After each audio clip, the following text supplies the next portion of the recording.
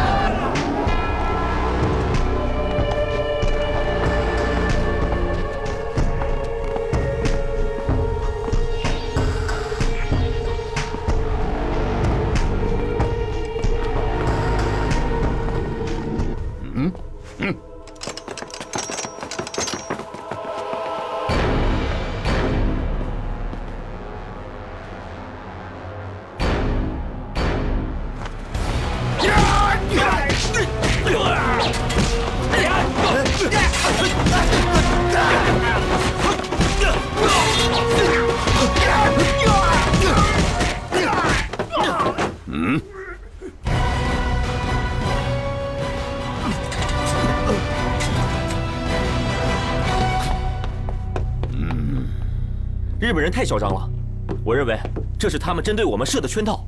是啊，这不是简单的比武啊。日本人出这招是想急于找到我们。哎，聂生，刚才你劫的野村呐，他是个新人，我们一定要查清楚他的来历。我可以跟踪他，看看他跟加藤在做些什么。是啊，也许我们可以将计就计，寻找到接近苏联专家的机会。但是记住了，千万不能暴露了。嗯，放心吧。啊，对了，我有一个线索，不知道是否有用。你说。韩司令八月初十过生日，我听说早在两个月前他就请了天津的京剧名角燕先生到他家里唱堂会。哎呀，秀儿，你这个线索太重要了，也许我们可以利用这个机会，进入到韩司令警备司令部的宅院，接近陈伯康。你提的燕先生啊，我非常了解。他是个京剧名家，也是一位爱国人士。他的侄子还是我们党内的同志呢，真的。太好了，我呀，一定要去拜访这位燕。外面的窗帘没拉，我去拉啊。啊，等我。快点啊。嗯。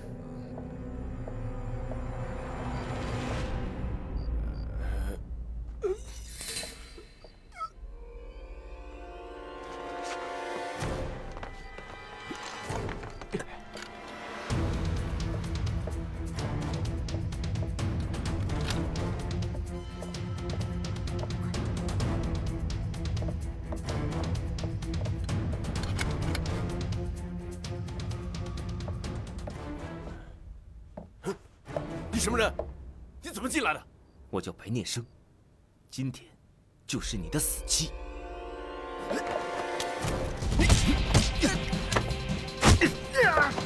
你别杀我，我什么都给你，就要你的狗命！搜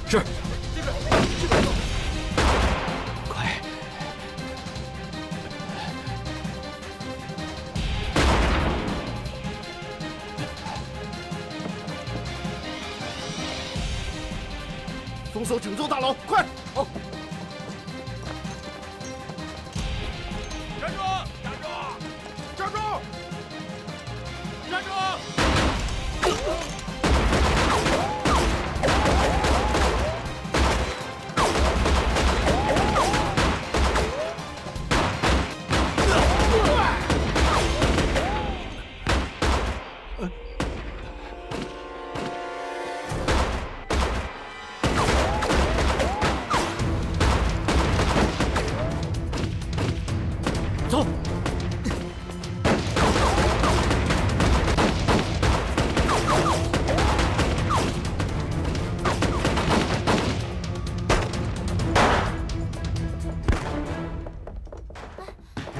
爹，这这怎么回事啊？没事儿，坐。打枪打到我司令部来了，啊！你去，带着人把这帮人给我抓住。那帮戏子，我告诉你，没一个好东西，肯定跟这事有关系。看着我干什么？滚呐！是。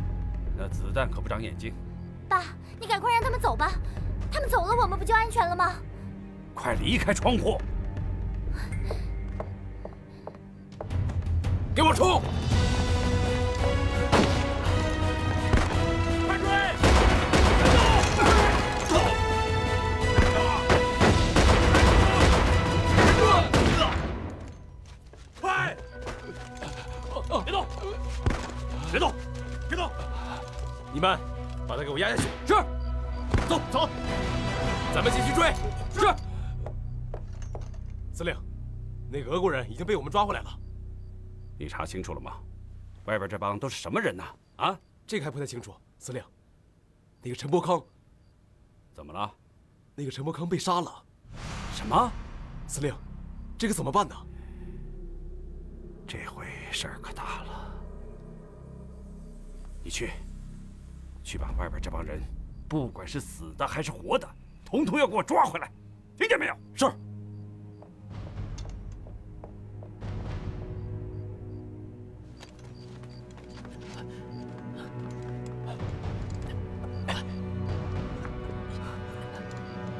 按计划炸毁通道，让他们想追也追不上。明白，你们先撤。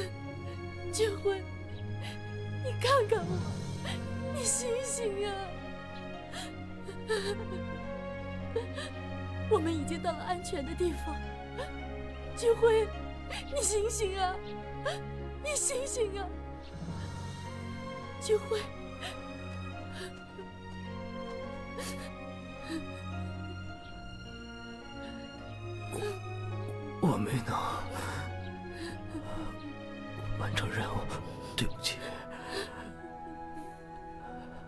俊辉，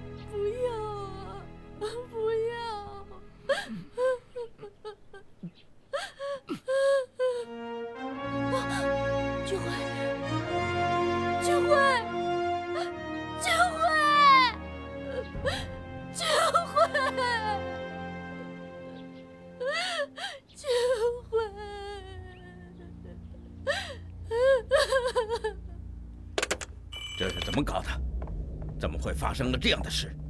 韩司令，你怎么解释？现在正在调查这件事情呢，无可奉告啊！那陈伯康呢？陈伯康怎么死的？他是在你眼皮底下死的，你要负责。我是你什么人呢？啊？我是堂堂国民政府警备军，不是你的看家护院。你这是在推卸责任。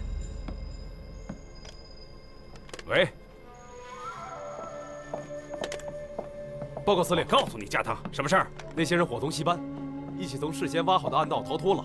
戒严，活要见人，死要见尸，一个都不能放过。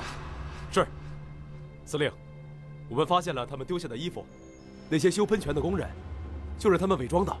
谁找的人？我马上去查。去。是，司令，您的电话。原来你这里早被地下党盯上了，我还以为你这里是万无一失的堡垒。我要带走俄国人。哎，我告诉你啊，那人肯定不能带走。我现在正调查这件事情呢，我必须马上把他带走。好，我知道了。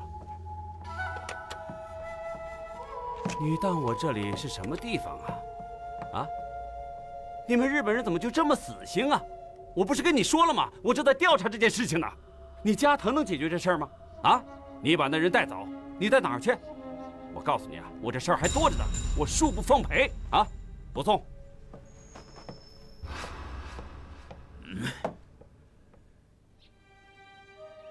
我们革命者随时要准备流血牺牲，拯救国家于危难之中是我们神圣的职责。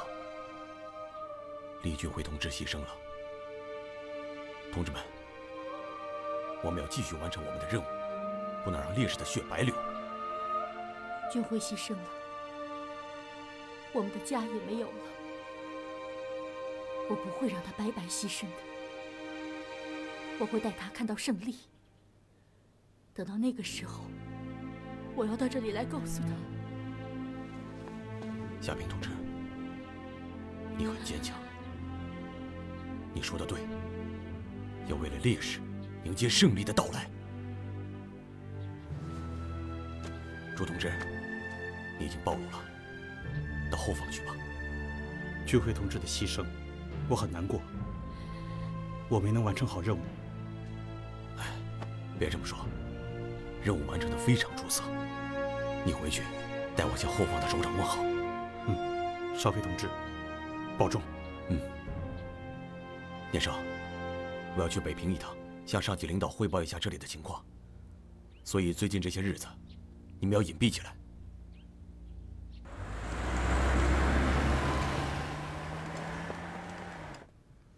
哎，嗯，好，知道。赶快去吧。是。司令，已经查清楚了，走来供认的是咱们警卫部的一个排长。人呢？已经逃脱了。你说让我怎么说你们呀？啊？这个人在我身边这么长时间，你就一点察觉都没有？你们还能干点什么呀？去，赶快查查，看看还有没有像他这样的人。是，我一定仔细筛查。司令，你看这俄国人，我们该怎么办？俄国人，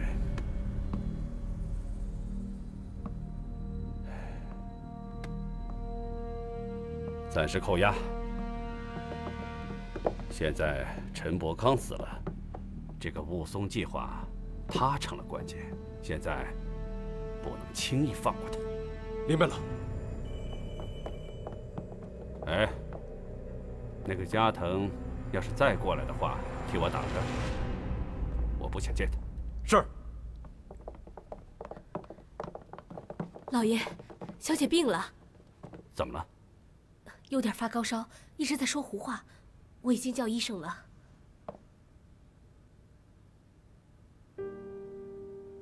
嗯，怎么样？情况严重吗？啊，没什么大碍，就是急火攻心。我已经给他服过药了，司令放心。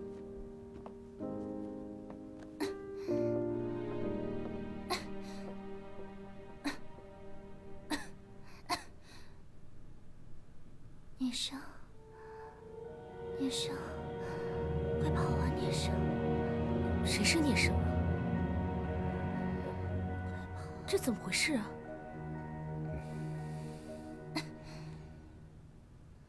这次行动之后，敌人一定十分猖狂，我们一定要注意安全，千万不能轻举妄动。是啊，我想去了解一下码头的情况。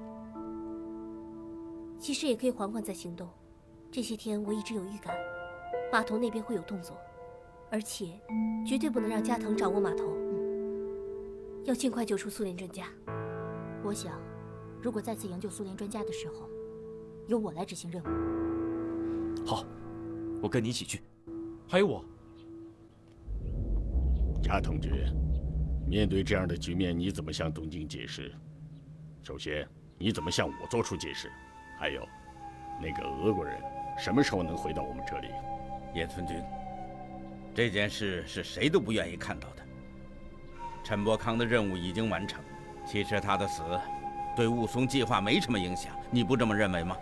陈伯康的死不是我们要追究的，但是俄国专家应该尽快回来，好推进雾凇计划。我会想办法。韩司令这时候对于警备司令部被袭击非常愤怒，可以暂缓几日。我会让他按我们的要求来做。雾凇计划一拖再拖，加藤君，我知道你在这里的难处，这里的抵抗组织的确很厉害，但是我们一定要击垮他们。野村先生，你已经有所感悟了。天津鱼龙混杂，很多事情并非想象的那么简单。对于让韩司令送回安德烈，什么时候？你有什么高见？这个时候，正是韩司令最紧张的时候，不能强行要人。但他不会得罪大日本帝国。现在战事随时爆发，他也清楚。不会轻易刺激我们的情绪，何况陈伯康刚死在他府邸，他的态度是外强中干。对于中国人，加藤君有所了解，不过我提醒你，还是要赶快把俄国人找到，推行雾凇计划。是。对了，野村君，你的擂台还要继续摆吗？当然了，我只是要把。激进分子引出来，把他们彻底消灭。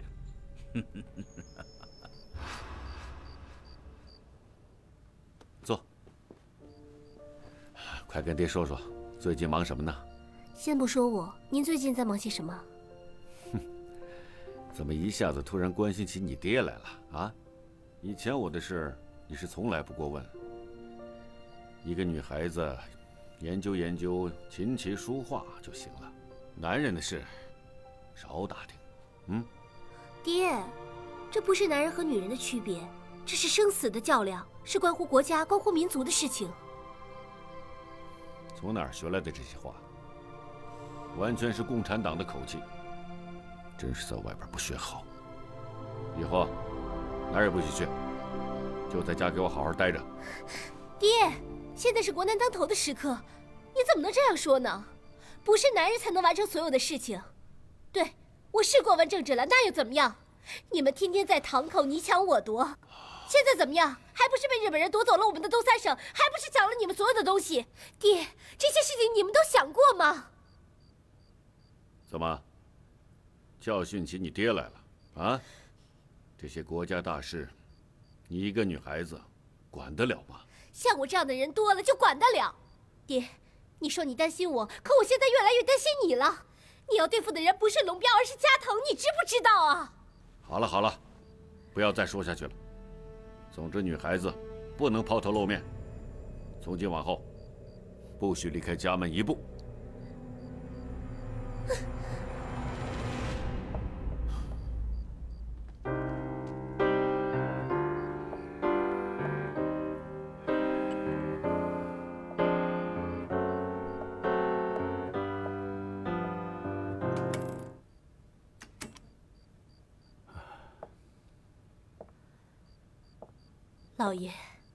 说这好好的一个寿宴，怎么出了这档子事儿啊？美玉怎么样了？啊，又睡了。您放心，我会照顾好她的。你说我能放心的下吗？刚才她在那睡觉，嘴里面还老念叨着那个人的名字。你说我这……那个人是干嘛的呀？我这心里头一直犯嘀咕，可又不知道该不该问你。是个通缉犯。通缉犯？那美玉会不会和他？哎呀，那可怎么办呀？这事儿不能声张出去了。我就搞不明白，美玉怎么跟他搞在了一起。是啊，美玉年龄也不小了，是该到出嫁的时候了。你说我这当爹的也不知道该怎么问他，我呀真是怕他了。给他找个好人家，那时候就有人看着他了。报告司令，上峰密电。嗯。唉，上边怪罪下来了。这帮人在天津闹了这么大的动静，上边总得找人担着。这帮人在天津闹出这种事来，我想你们脸上也没面子吧？再有，刚才上面又跟我强调了，强调了那个雾凇计划，让我们把那俄国人交给日本人。你们两个什么意见？交给日本人，我觉得这事儿没那么简单吧？哼，简单不简单，谁知道呢？咱们是军人，先执行命令吧。是。谢谢韩司令美意。我会派人派车去接安德烈先生，但也请你们在路上安排护送。请转告韩司令，他的决定是日中亲善的典范。惠子，你马上去韩司令那里，保护好安德烈先生，他是我们的贵客。韩司令的卫兵也会护送你们的。明白了，父亲，放心吧。我们还是要更多的掌握码头上的情况。秀儿，黑娃最近在做什么？他现在天天不回家，整天在那个歌舞厅里鬼混。龙彪那儿最近还是老样子，日本人的货还没有到天津。龙彪最近整天去找我哥，和我哥在歌舞厅里。唉，我怎么摊上这么一个哥哥？三叔找过他，我听三叔说，黑娃提起过去挺难受的。秀儿，你就从侧面去接触一下黑娃，但是不要心急。我认为，黑娃还是可以改过来的。我想了解一下，黑娃对龙彪这一伙的真实看法。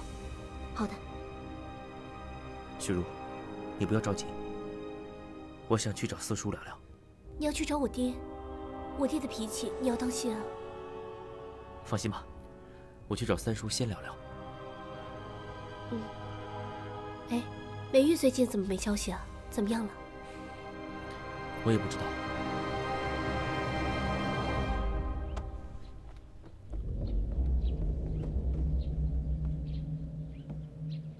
还有谁？什么人再来？你们害怕了吧？啊！太交粪了！看到了吗？谁要打赢我，这金条就归谁。我知道你们被我吓怕了，我就是要用金条的诱惑力，让你们上来跟我挑战。太嚣张了，这是就是，没办法，他武功高强，到现在都没人打过他呀。哼，我就不信没人治得了他。别高兴得太早。是，我来。哎呀，上来一个，有人上来终于上来了。废话少说，直接来。哎。嗯。啊啊！啊！啊！过呀！嘿！嘿！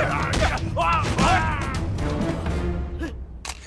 这哪是比武啊，这是杀人的！就是啊，他们这日本人像话，畜生养的，太过分了，太可恶了，下手太狠了吧？什么中国功夫？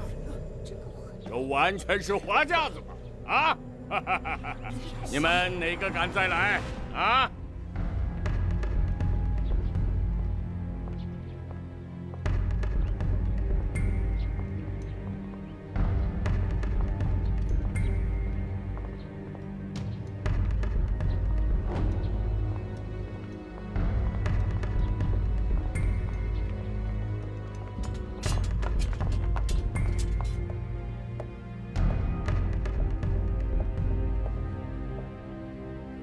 三叔，哎，念生，来来，怎么有空上师叔这儿来啊？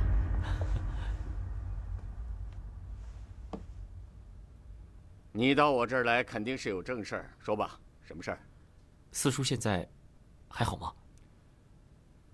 你到三叔这儿来问四叔的事，他不就在忠义堂吗？我是想问一下，他的码头那边现在什么情况？哟，关心起忠义堂来了。你放心，倪四叔他自有办法。不过他是怎么想的，具体你还得问他。可是我担心，他不让我插手。嗯，这次的事情非同小可，日本人手上有枪，他不让你去，也自有他的道理。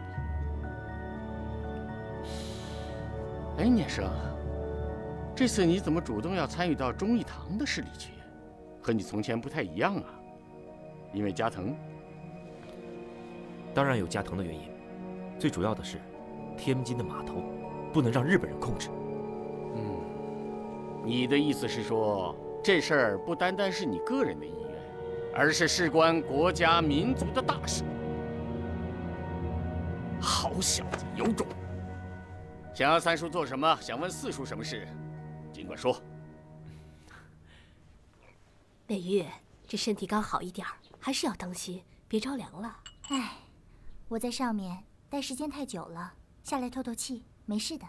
我爹呢？啊，出去了，说是中午要回来吃午饭呢。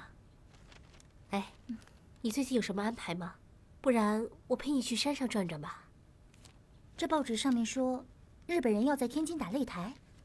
嗨，让他们打去吧，日本人的事谁管得了啊？太太，孔文涛先生来拜访司令，快有请。孔先生，请。啊，哎，孔先生，哎，真是不巧，我们司令刚出去了，让您白跑一趟。啊，不碍事。这不，司令喜欢古玩，我特意给他选了一份上好的唐三彩。啊我就是过来坐坐，没有什么要事。孔先生还是这么客气，快请坐吧。哎，好。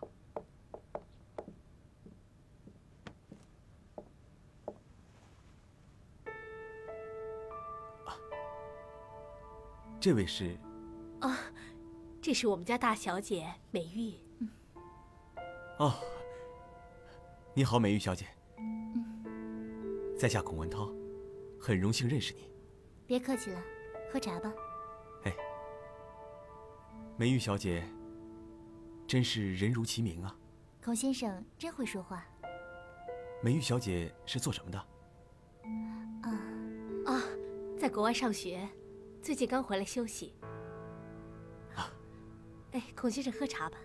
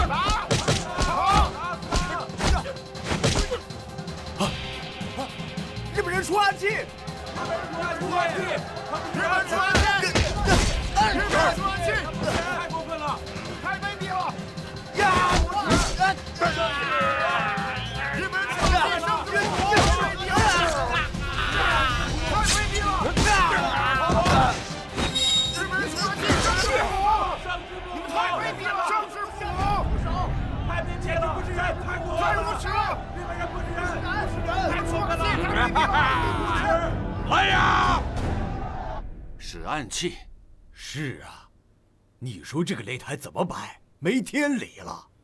这东洋人这样的损招都用得出来，还没有人管了，那叫什么？这不整个一胡作非为吗？看来我唐四不出手，这天津卫真的没人管了。不过四爷，现在龙彪这小子躲在哪儿，我们还不知道，对他你还得提防着点。四爷，大鹏说的对，这事儿我们还是要谨慎为主。小叔你的话我明白。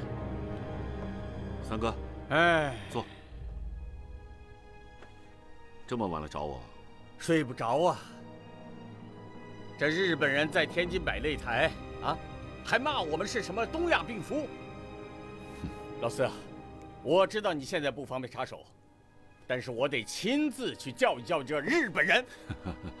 我们正商量这事情呢，我们想到一块儿去了。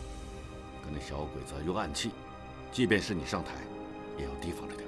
老四啊，我不怕他使什么阴谋诡计，明天我就去瞧瞧啊，看他还能使出什么阴招来。也好，哎，小叔啊，明天多派几个人，跟三爷去看看。咱们不用阴招，也不能让小鬼子给算计了。四爷，你放心吧。秀儿，来，把这钱拿着。去买点好看的衣服，不够的话呢，再回来找哥要。我不要。哥，现在天津谁不知道龙彪跟了日本人？你和这样的人在一起，你也是汉奸。我不要这钱。秀儿，我以前也是跟加藤合作过，我现在就是不跟龙彪在一起，我这个名声也洗不掉。但是我怎么想，你应该知道！我不管外面人怎么看我。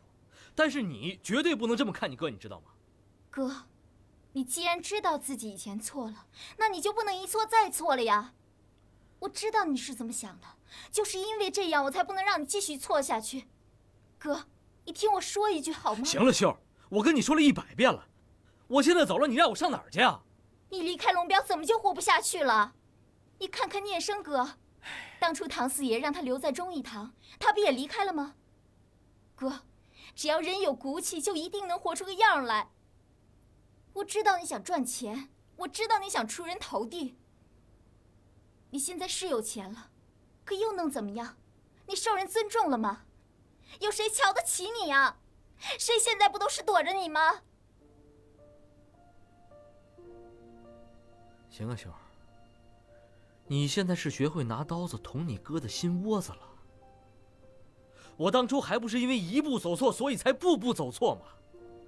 白念生，哼，白念生早就不拿我当兄弟了。以前的事我也不想回头看，我只想着以后怎么过日子。以后的日子，以后的日子谁能预测得到？像龙彪那样的人，以后能干出什么事儿来？你知道吗？哥，你好好想想吧，哥。你当初一心想来天津打拼，难道就是为了让所有人都骂你是汉奸吗？你再说一遍！我告诉你，秀儿，我就你这么一个亲人，你知道吗？啊？行，不认这个哥是吧？走，走，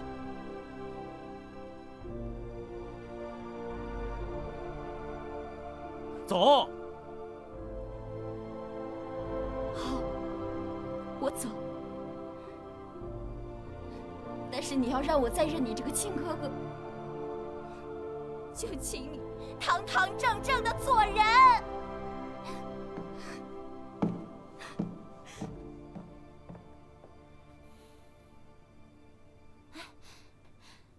你妹怎么了？喊的头也不回的。妹妹都不认我，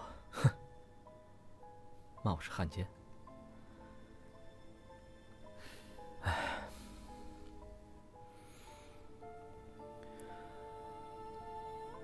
翠儿，谢谢你一直陪着我。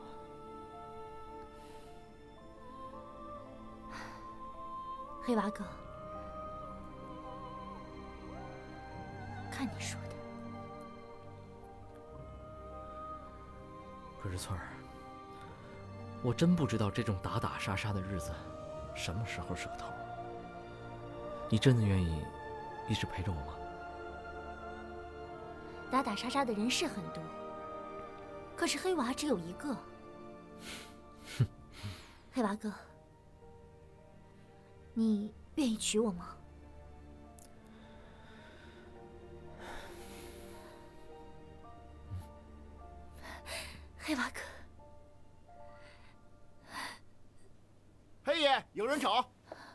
谁啊？你就是黑娃。我是警备司令部的，想请你小聚一下。啊，下去等我一下。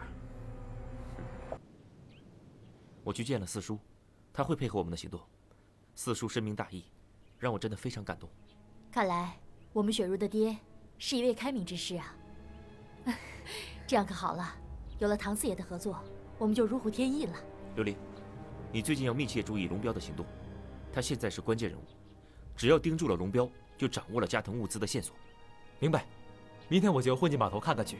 好，我们先按兵不动，等到上级的指令，我们就马上营救出安德烈。哎，对了，最近满大街都在议论日本武士摆擂台的事，民愤很大。我知道，我去看过了，但是我们一定要把他的气焰给灭回去。现在日本人不断激起民族仇恨，聂生，你要注意安全，没有指示不要随便行动。我知道。龙掌柜，最近码头上的事情可真够你忙的。嘿嘿，还行还行，借司令吉言，生意不错。我呀，也看了看，现在大大小小的堂口，还就你最聪明。司令，您这话是夸我还是骂我？听不出来。哎，行了，别跟我装糊涂。我可是拿你当兄弟啊！司令抬举，我龙彪就是义气，义气。哼，龙彪义气。那我跟你说，现在四处传言，战事马上就要打起来了。其实，我们这些军人就是个炮灰，到时候。百姓断水断粮，可是你呢，就踏踏实实，哪只船靠岸你就上哪只，不是吗？司令，这是误会，天大的误会！我跟加藤，这这就是做点小生意，你说这，照您这么一说，你说兄弟，我这不成了小人了吗？你这，难道不是吗？哼 好了，别说了。龙彪，我问你，你那几条快枪是从哪儿来的？是不是加藤给你的？如果战事要起，你知道你是什么人吗？你就是汉奸。你知道怎么处置汉奸吗？就地正法。韩司令，我真是跳进黄河，我都洗不清了我！我就是为了给五湖帮抢点地盘，捞点银子。你说让您这么一说，兄弟，我成了该死的人了。你说我，我可真冤枉啊！我，哎，别激动，别激动，你也别跟我说什么冤枉不冤枉的。我说这些话，都是为你好。是是是是，不就是几条破枪吗？我告诉你，我这儿什么都缺，就是不缺枪。不是我，其实有些事情，我也可以帮你。可是你现在跟这个加藤打得这么火热，到时候上边是怪罪下来，我可真不知道怎么替你说话呀。这，司令，您觉得兄弟该怎么办？怎么办？我替你想想。如果到时候我想替你说话的话，也得有个理由啊。你看这样，兄弟，加藤那边想怎么做？你看能不能事先告诉我？嗯，如果要真是这样的话，战事真的要是起来了，你就是我的人。如果是要敢动你，我就可以让他成为汉奸。哎呀，司令，龙彪我没看走眼，您确实够朋友。加藤算什么东西？我早就看他不顺眼了。我跟您说，兄弟刚才说了，就您这一句话，我肝脑涂地，赴汤蹈火。嗯，这样，你呢，回你的码头好好待着。这个加藤要上什么货，在哪儿上货，到时候麻烦你来告诉我一声。嗯，我这边如果要是有什么事儿的话，我也会提前通知你。哦，至于你愿不愿意告诉我，那是你的事。还有，如果这件事情要是传到加藤的耳朵里的话，那……哎呦，韩司令，看您说的，您还是啊，不太了解我龙彪。加藤让我准备三个货仓，货可能这几天快到了，应该是大买卖。到时候有什么情况，您等我消息啊。我没看走眼。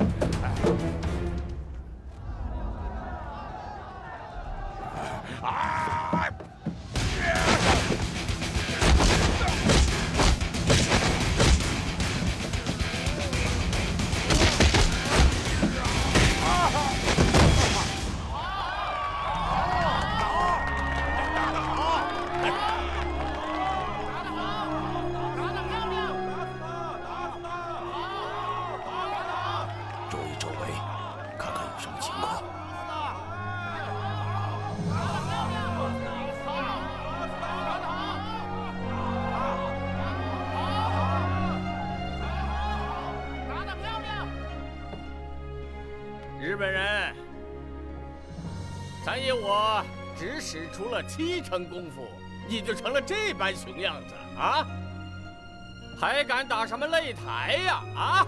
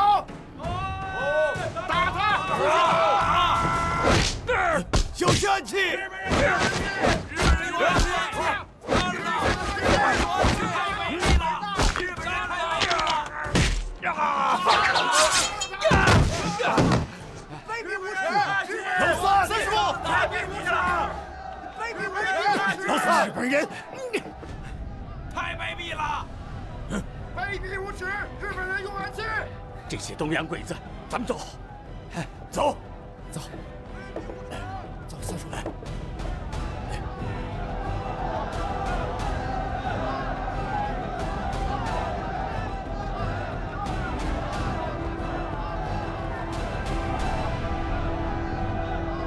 哈哈哈哈！我赢了！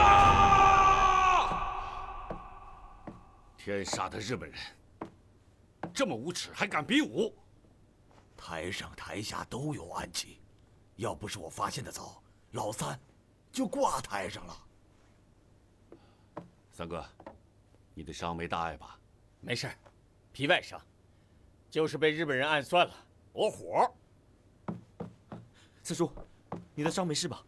没事，念生，皮外伤。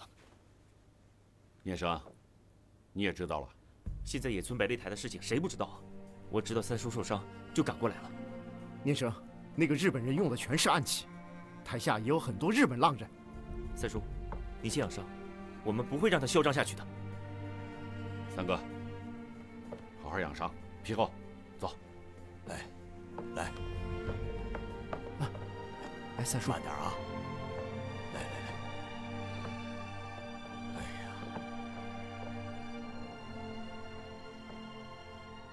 这件事情我一定要管。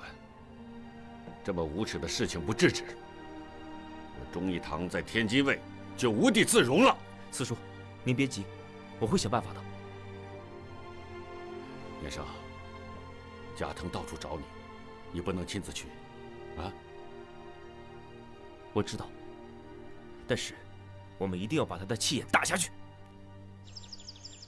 我看还是不要再用这种方法了，不仅危险，而且也不会引出共党。今天那个武士武功的确了得，我不能接受这个失败，我放弃了，就是接受失败。不，我没有失败。冲动是魔鬼，野村君，你先静养几日。安德烈的情况不太好，他的身体越来越差。我现在最重要的事情，是从他堆里得到我们想要的东西。那个中国武士，我曾经跟他交过手，他应该跟忠义堂有关系。此人住在北港巷。是吗？嗯。是吗？忠义堂。嗯。那么此人。真的不能放过，唐纪元，你终于出手了。野村君，你做得好，我恭喜你。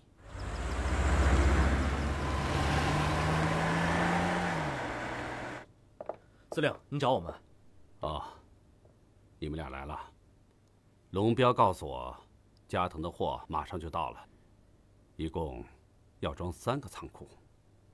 看来这个雾凇计划还真不小，那我们接下来该怎么办？是啊，嗯，这个事情我已经汇报上去了，一切按上边的意思办吧。如果咱们不听命令，这件事情办不好的话，哼，又得追究咱们的责任。还是司令说的对，有时候上面的意思，咱们真是琢磨不透啊。好，反正呢，这货到了，你们都给我看紧点儿。尤其是那个龙彪，这小子在我跟加藤之间什么都干得出来。如果要是发现他有什么可疑的话，处理了他。是是。好点了吗？好多了。爹。好了。嗯。哎呀。爹放心了，多精神的！你知道前两天你都让爹担心死了，看你今后还乱不乱跑。佳怡啊，哎，谢谢你这几天照顾他。哪儿的话呀，这是我应该的。你呀，应该谢谢佳怡。嗯。哦，对了，佳怡。啊。如果这几天大小姐偏要出去的话，你陪她一起去。嗯。啊。放心吧。哼，行了，你好了我就放心了，我先忙去了。哎呀，行了，别唠叨了，我一好了他就唠叨我。不说了，不说了。你说你呀，行了，我先忙去了。嗯。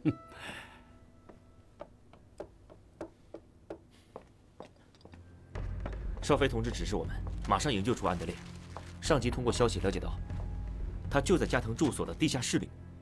但现在来了很多日本人，我们的行动也就更加困难了。那那我们怎么进去？年生，你答应过我，这次的行动让我来执行。放心吧，我们一起执行任务。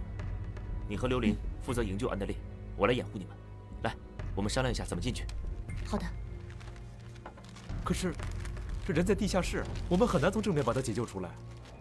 你看，加藤的住所是一栋德式建筑，地下室与旁边房子地下通道是相隔的。我们只要进入旁边的房子的地下通道，就能马上救出安德烈先生。小野，你知道最近惠子在做什么吗？他倒是经常离开住所，可至于去哪儿了，我就不太清楚了。嗯。你要注意他的行踪，随时向我汇报。您的意思是，你不需要多问。总之，一定要隐蔽的监视，不要让他察觉，尽快搞清他和什么人来往。我知道了。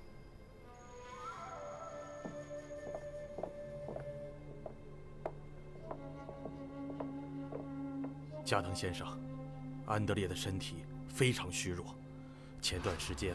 不间断的打针，还有服用药物，现在他的昏迷情况越来越多了。您看是不是先暂时停一下，让他调整一下，我们再继续工作？不行，不能停下来。那好吧，那今后很难说会发生什么情况。他的身体虚弱，进展肯定会有所减慢的。我明白。他的年纪大了，但是我们的工作不能停止，至少现在还不能让他死掉。嗨。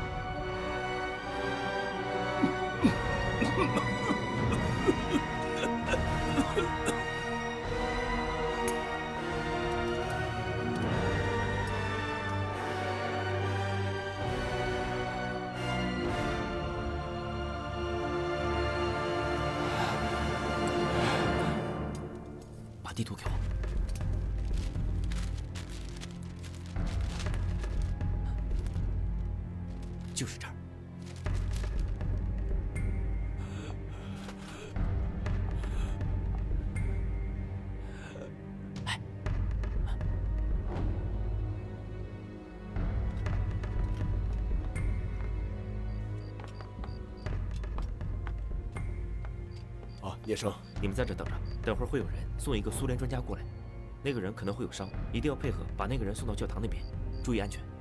四爷吩咐过，全听你的。聂生，打加藤的事不用说，你放心，我们一定把人安全送到地方。谢了，兄弟。啊，有什么动静吗？没有，没什么动静。一会儿炸开口子之后，我先进去。聂生、夏冰，你们负责掩护我。嗯，咱们等到四点钟，天快亮的时候准时行动，那个时候人最少。他们的警戒也最松懈。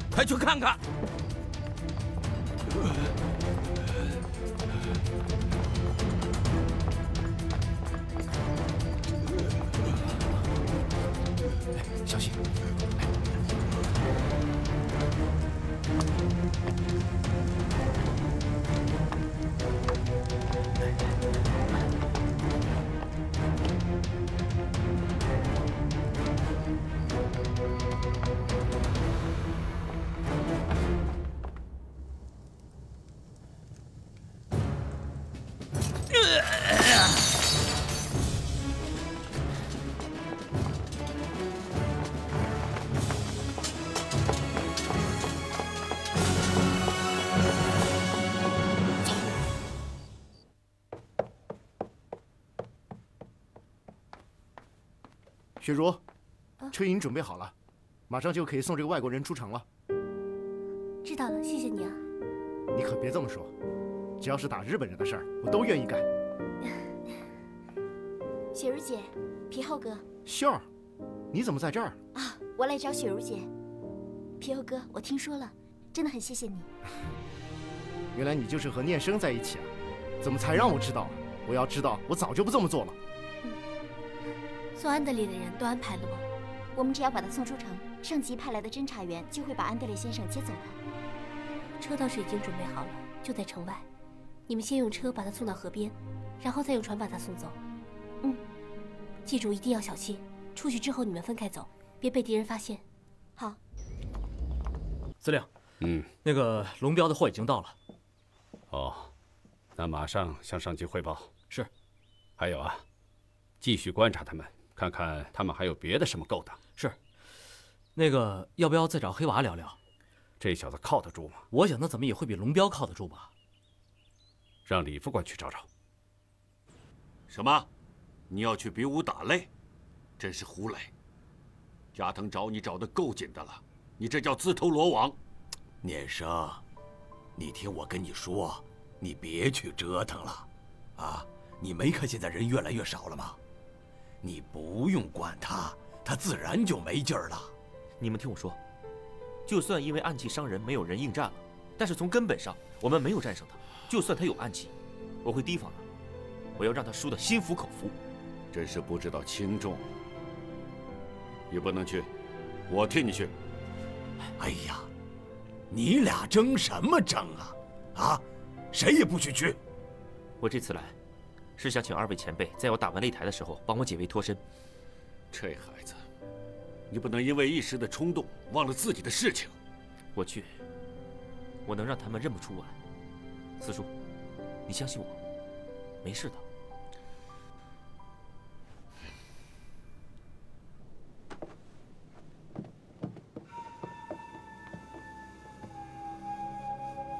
还有谁？什么人再来？你们害怕了吗？啊！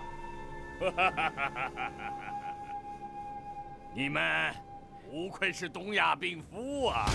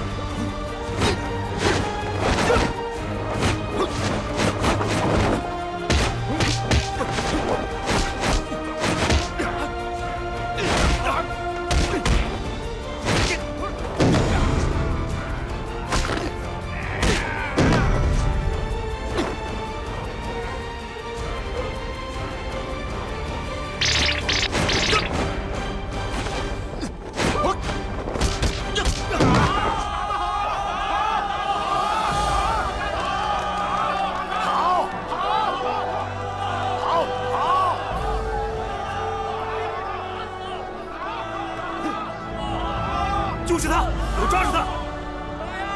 保护念生，保护英雄！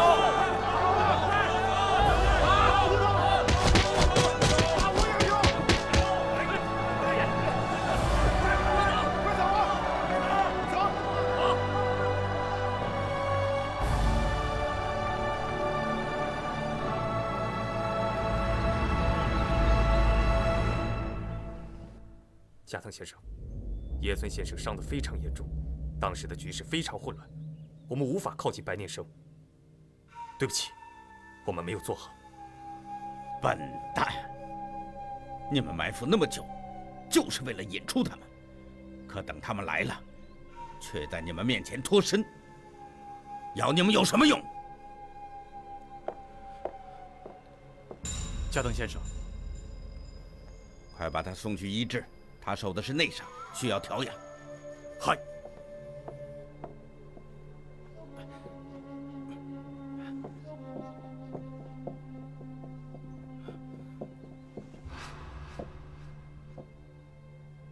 他们有多少人？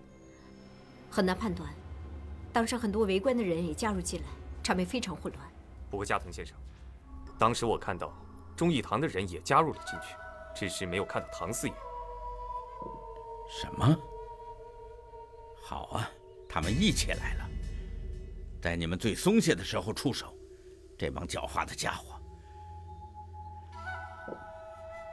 我一定要忠义堂付出代价。加藤先生，您下命令吧，这一次我们一定不会让您失望的。中国功夫痛打日本武士，卖报卖报嘞！卖报卖报嘞！哎，卖报了啊！中国功夫痛打日本武士，卖报卖报。司令，您找我。啊，来来来，你看看，又是这小子。这件事很轰动。可惜让他跑了，那你们想怎么办呢？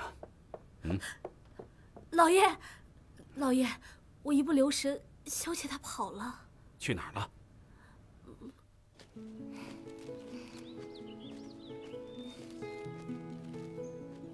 啊啊！吓死我了！快过来！看什么呢？子，你看，多棒啊！这是应该的，不教训他们怎么行啊？哎，可是现在外面那么乱，你自己一定要小心啊，很不安全的，知道吗？我知道，一直都是这样，但是呢，我不怕。那，你就不能为我想想吗？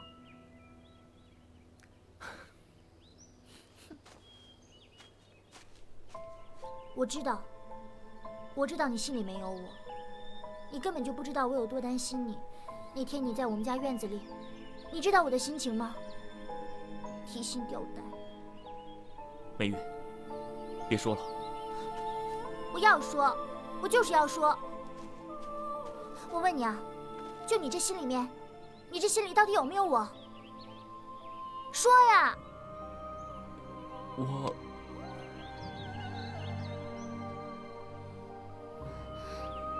你还是什么都别说了吧。